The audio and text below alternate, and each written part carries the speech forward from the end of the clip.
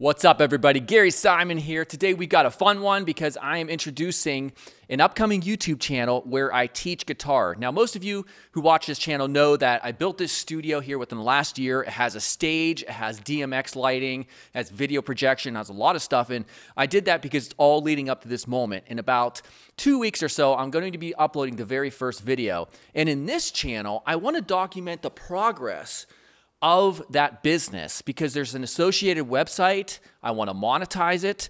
And we're going to get into the nuts and bolts of all of that stuff here going forward in this channel. And it's just going to be one of the things that I end up covering. So I want to show you what the first video looks like because it has something to do with this ridiculous helmet. Open strings, and oftentimes we'll repeat those three notes. For instance, Here's an E minor chord played in the open position. If this is your first time trying to play a chord, your fingers will likely hurt. This is a normal part of the process. Keep playing the training wheels, no more diagrams.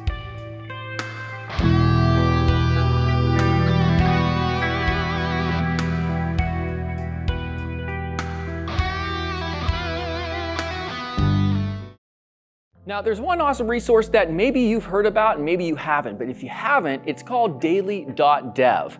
And essentially, it is a free, 100% free browser extension that allows you to create a curated daily feed of content based on the things that interest you most. For instance, I like UI UX design, I like JavaScript, I like AI. So once I create this feed, I'm going to get news stories and articles that are up to date, that interest people most in those categories. It's so important to stay up to date with this type of tech because things move so fast. So definitely check out daily.dev for a bunch of awesome daily updated content on the things that matter to you most. So as you can see, it is quite unique. Um, each video, or at least the very first video, took a lot of prep work.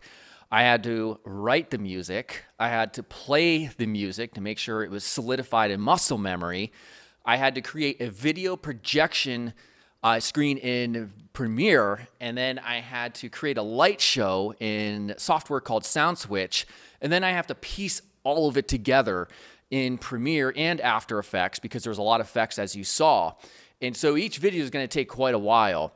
And the whole purpose here is to teach people in each lesson video a concept of guitar of some sort. And each video will also have a full performance like you saw a snippet of. And the idea here is at the end of the videos, the users or the viewers will be instructed to visit the associated website and they can sign up for a free account to download a backing track. And the backing track will be based on the performance and it will take off the guitar part that they're supposed to perform. So they practice, they upload it, and then eventually they can earn badges. We're not going to la launch with that aspect just yet, but they'll be able to earn these badges. I'm going to show you the prototype and the mock-up of the website that we're currently implementing.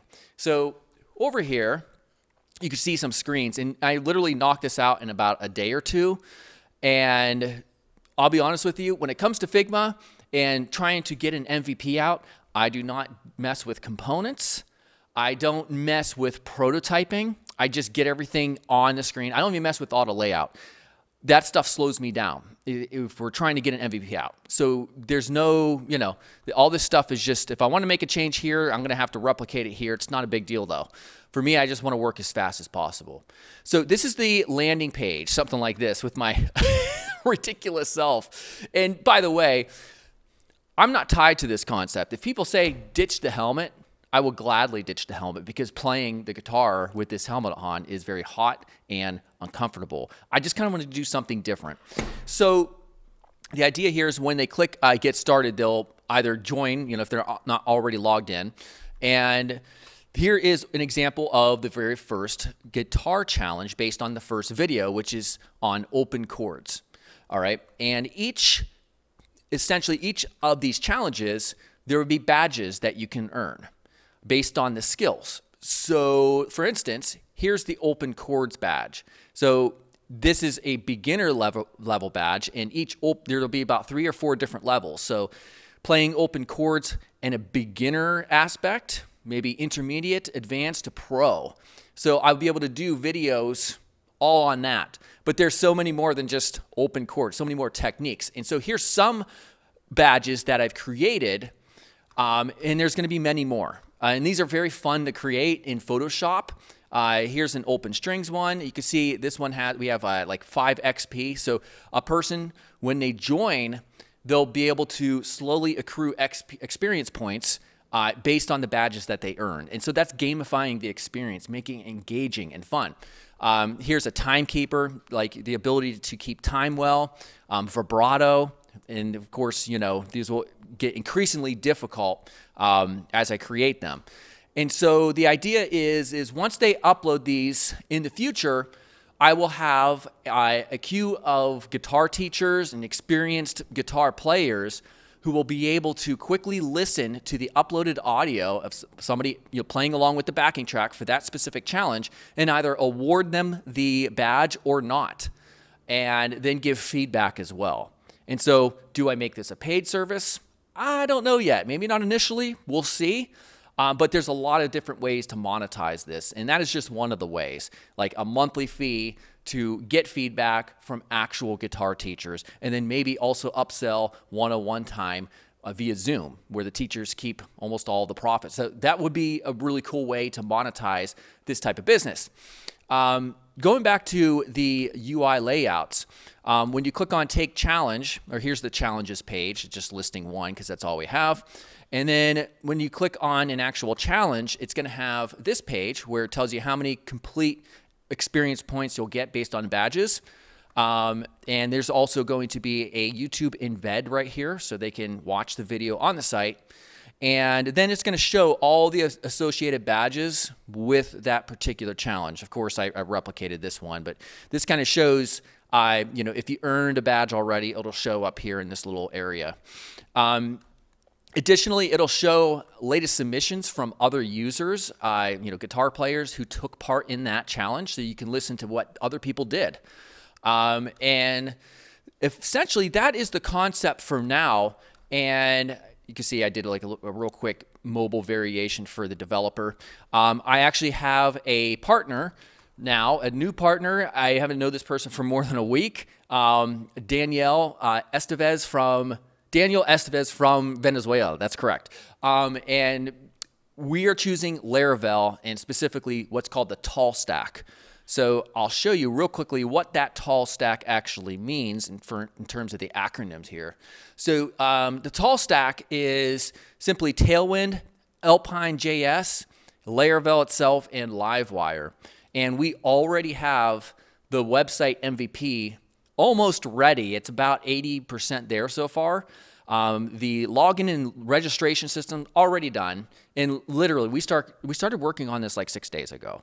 So you can really rapidly prototype with Laravel, which is so awesome. I used it in the past on my own site back back in 2017 or 2016, where I built Coursetro.com, and I loved it. And for some reason, everybody started getting excited about JavaScript, so I kind of switched focus I, but now I want to go back to Laravel as well and start relearning because obviously it's been some time since 2016, 2017.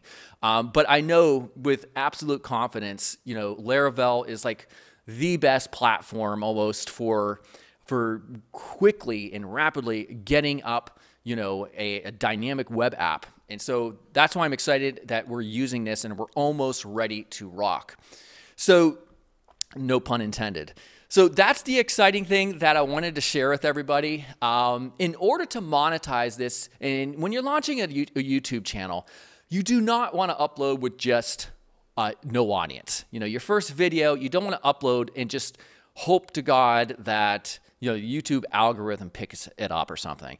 And you also don't want to just upload a video with no audience, but then just, you know, mention it to your family members or post it on Reddit or Hacker News and think that, you know, it, it's going to become successful.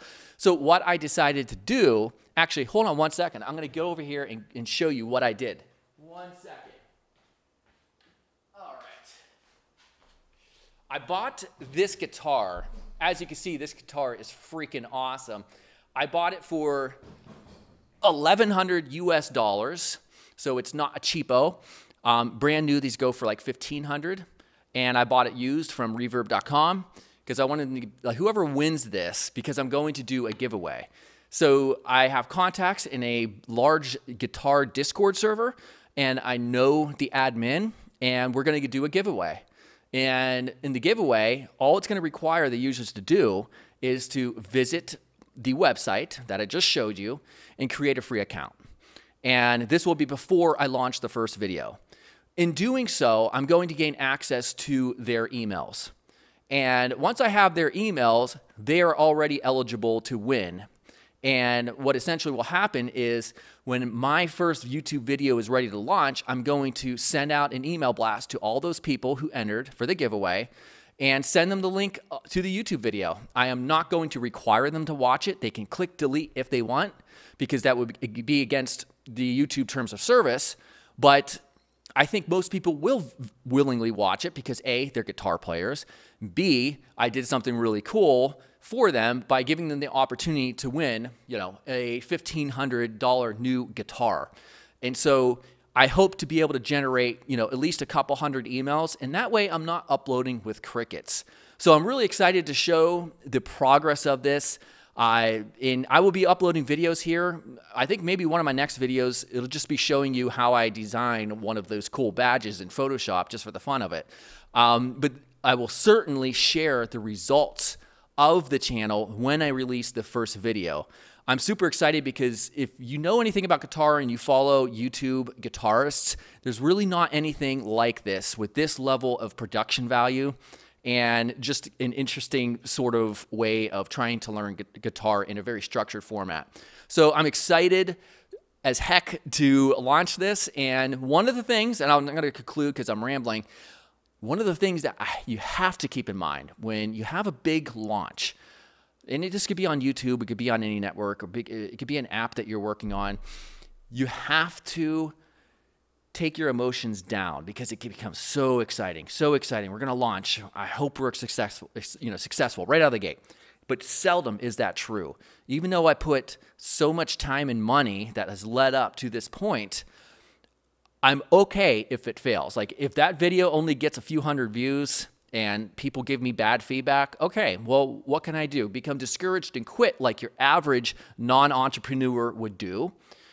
Or take that feedback, even if it's negative and not necessarily constructive, just take your emotions out of it and you adjust. So I'm in this for the long haul, regardless of whether or not the first video succeeds. Um, people might tell me this helmet is stupid.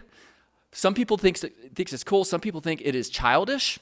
We'll have to see. And so I'm really excited to upload that video coming here within about a week or two to show you, okay, this is how this particular video performed.